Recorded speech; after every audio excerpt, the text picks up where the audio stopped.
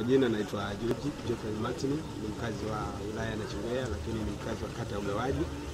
Ah, mi binafsi Mheshimiwa John Pombe Magufuli, rais au hayati baba huyu, mimi namkumbuka katika engo ya afya. Kwenye engo hii nitajaribu kuelezea baadhi ya mambo ambayo kwa namna moja ama nyingine anajaribu kuifanyia wilaya yetu. Chukulia mfano a, katika kata ya Naipanga alifika pale na akatoa kiasi cha shilingi milioni mia mbili kwa ajili ya kuanzisha kituo cha afya pale Ipanga. Tunaona kile kituo kinaenda kunufaisha wananchi wengi kata yenyewe husika ya Naipanga, lakini vile vile kata jirani, kwa sababu ni kituo ambacho kwa namna moja nyingine kitaenda kutoa matokeo chanya katika kipengele hiko cha afya.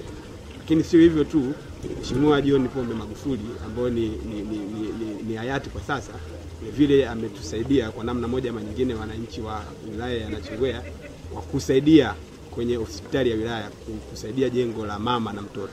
Jengo lile limeenda kuleta matokeo chanya sana na kwenda kuondoa kero ya moja kwa moja kwa mama ambao wana, wa, ni wajawazito pamoja na watoto. Sio hivyo tu, vile vile Mheshimiwa John Pombe Magufuli ameendelea kukaa kwenye kumbukumbu ya wananachingwea alipopeleka kiasi cha shilingi milioni mia saba kwenye kituo kile cha Kilimalondo ikijumuisha pamoja na gari aina ya ambulance ambayo limeenda kuwasaidia kwa, kwa, kwa hayo yote kwa namna moja ama nyingine uh, wananchi wa wilaya ya Nachingwea naamini kwa namna nyingine yoyote ile hawezi ku- ku- kushindwa kumsahau kushindwa kumkumbuka huyu mheshimiwa kwa mambo makubwa ambayo kwa namna moja ama nyingine ameyafanya katika wilaya hii yetu ya Nachingwea. Naitwa Dikanda Mwaya, ni mkazi wa wilaya ya Nachingwea. Of course miaka mitano ya Mheshimiwa Rais John Pombe Magufuli ya, tunamkumbuka kwa mengi. Mojawapo ambalo tunamkumbuka ni kwenye swala la mikopo.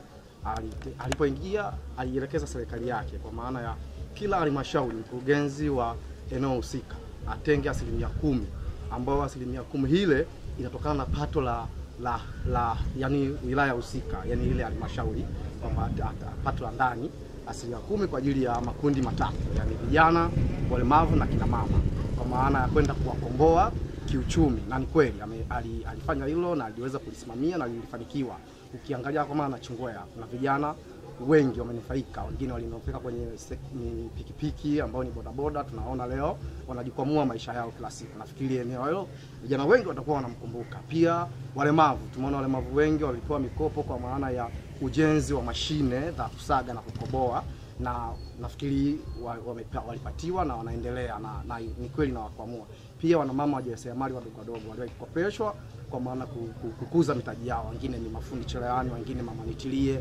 Leo hii ukienda ukiwauliza, unaona ni kweli, wanakupa huo ushuhuda kwamba Rais John Pombe Magufuli aliishi kwenye maisha yao, aliwakwamua hayo maeneo. Kwa hiyo mimi nifikiri ni wazi watamkumbuka vijana wengi. Hata sisi binafsi, mimi pia nimewahi kupata mkopo wa zaidi ya shilingi milioni 16 kwenye kikundi wa mkopo wa ujenzi. Kwa hiyo na tunakwenda sawa, yani wanakikundi wote wanamkumbuka. Ni, ni, ni shujaa kweli ambao aliamua kuishi maisha ya watu wa chini na kwenda ku- ku- ku- kuwafanyia kazi zao. Kwa jina naitwa Mwalimu Charles Matata na ni mwalimu mstaafu. Bahati mzuri nimeonja kuwepo katika awamu zote za uongozi katika, katika nchi yetu baada ya uhuru, na maana uongozi wa Mwalimu Julius Kambarage Nyerere nilikuwepo na nimeona pia uongozi wa viongozi wote baada ya Mwalimu Nyerere mpaka awamu hii ya, ya, ya, ya mama yetu Mama Samia Suluhu. Kwa kweli viongozi wote ambao wame- wametawala katika vipindi vyao, kila mtu kafanya jambo la maana kadri ya uwezo wake.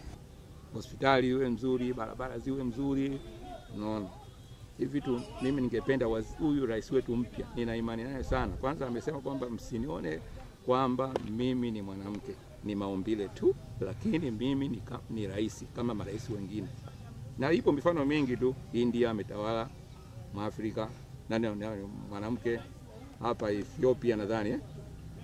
nako ametawala mwanamke na nchi kadhaa nyingi tu za Afrika, licha ya nchi za Ulaya, lakini Afrika wenyewe tumepata viongozi wengi wanawake shupavu, lakini huyu naona ni shupavu zaidi kwa sababu ameshakaa na rais kwa kipindi kirefu na ameshafanya shughuli mbalimbali za uongozi katika nchi na nje.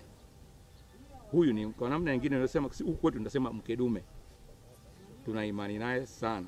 Kwa hivyo ninaomba huyu sasa atawanye maendeleo kwa nchi zote na, na kwa mikoa yote, lakini sasa hivi angalie kusini, aangalie kusini.